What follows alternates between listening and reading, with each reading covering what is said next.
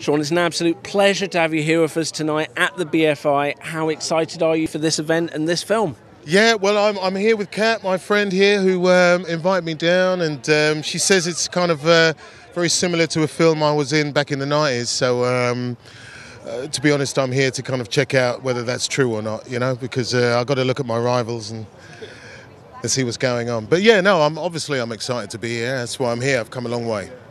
Obviously, this is part of the I Will Tell Festival. How important do you think these kinds of platforms are in giving people a voice? Yeah, well, of course, uh, giving people a voice is always uh, a creative voice is always important because um, if creative people hadn't been given a voice, then we wouldn't have seen some of the great films, some of the great TV, some of the great art. You know, certain people talk, they write a, a film from the heart, and then they put it on and they get a, a, load of people to come in and be involved, and, and we're here to kind of represent what that means, which is essentially, you know, an art form that is as old as anything.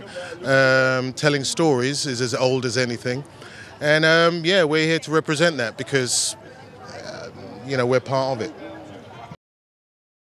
In terms of important storytelling, with Small Axe, you guys were part of something that did mean a lot to people and was given considerable recognition, I think, because of that. What did that mean to you, particularly the, the, the BAFTA recognition and uh, and the awards kind of lavishment that the uh, the project earned? Yeah, I mean, for someone like me, it's one of the most important things in my life to do something that means something somewhere. And uh, that was one of those roles that meant something because it spoke to people it spoke to a generation, but it spoke to a lot of people who had never seen anything like that before, all over the place. Spoke to my mum. My mum really sees anything on TV that speaks to her, you know.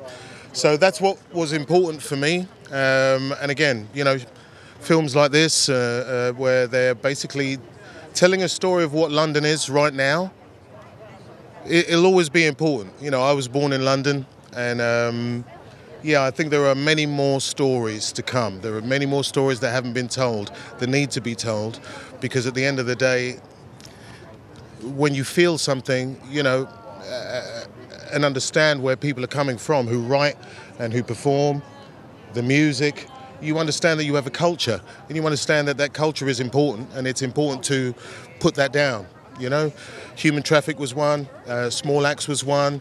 Hopefully, this film will be one um, and, and many films, many films over the years from this country specifically uh, have said a lot. So I hope it, it carries on.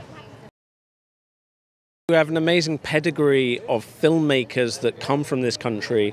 Can you talk about Steve McQueen and why he represents some of the finest, most nuanced storytelling that we seem to be able to offer the world? I think Steve McQueen is there because essentially he's been recognised, you know, as someone who can tell those stories. I think Steve McQueen has been recognised, and more often than not in this world, we understand that recognition um, is important these days.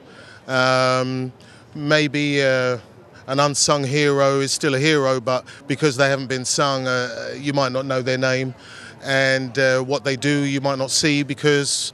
Uh, no one's kind of put the onus on it to see it. It might be an important story, but because someone famous isn't attached, uh, it's a problem. Um, I've done a lot of those things, but you know, that's why I love these film festivals because people like this lot get to show themselves on platforms like these, and I, I hope it carries on. Do you have other projects that we should be excited for at the moment? Yeah, for sure. I've got some projects coming out in the next uh, couple of months. I'm not going to say too much about them, but uh, I'm playing a detective uh, in a very intense show uh, coming up on ITV soonish. But other than that, you know, there's always things coming out, so watch this space.